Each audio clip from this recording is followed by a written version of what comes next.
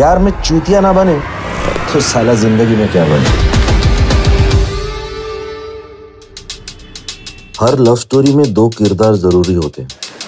एक हीरो और एक हीरोइन लेकिन ये स्टोरी थोड़ी अलग है। इसमें एक हीरोइन है,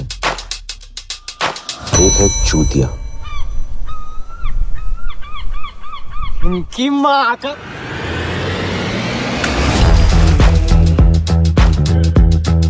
लव में क्या फ़र्क पड़ता है कामना फ़र्क पड़ता है गुना एक लड़की के पीछे ये हाल बना रखा है। छोड़ छोड़ मेरे तुम छोटे शहरों के लौंडों का ना यही प्रॉब्लम ना तो तुम विजय माल्या के इकलौते लौंडे हो ना ही कहो ना प्यार है के ऋतिक रोशन।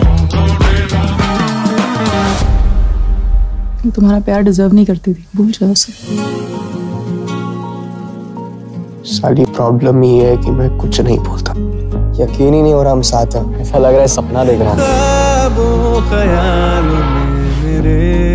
एक बार जो नाम लिख दिया ना तो लिख दिया।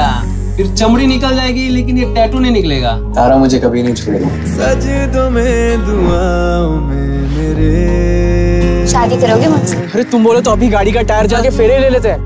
स्कूल वाली तारा नहीं रही वो। कॉलेज में लोग बदल जाते। I love you I know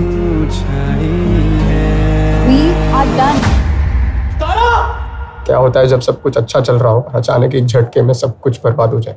अब भी कुछ नहीं बिगड़ा मेरे दोस्त। विल सॉर्ट द थिंग्स पुराने प्यार को भूलने के लिए नए प्यार का आना ज़रूरी है। मुझे तारा चाहिए। तारा नहीं लोडू साइकेट्रिस्ट चाहिए। Tell me that you love me Kunal I love you lot Tara. Tara? Guinness book में ना बिगेस्ट चूतिया इन द वर्ल्ड का अवार्ड होता ना तुझे ही मिलता पक्का से। कुछ चीज़ें हमारे नसीब में नहीं होती फिर भी हम उनके पीछे भागे तो एंड में तगड़े लोड़े लगते हैं। जैसे मेरे लगे।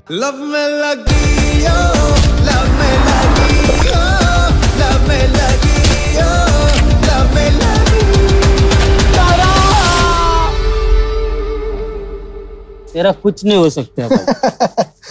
नसीबी गांडू तो क्या करेगा?